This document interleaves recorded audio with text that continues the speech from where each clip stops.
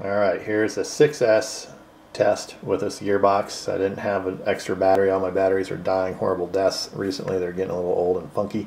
But here's 6S on this thing. Let's see what that sounds like and let's see what kind of current we draw. So just under 3 amps. Reversing from full speed seems to be pretty smooth. Of course, I don't have any load on this yet. Um, this software is showing about the same numbers. It's all looking good. This gearbox is silky smooth. This uh, adapter plate turned out really well alignment's all great.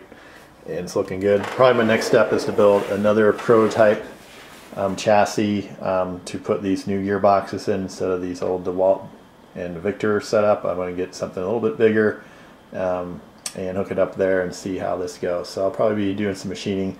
I'm going to hook up the Vision as well and uh, see if I can have it drive around autonomously.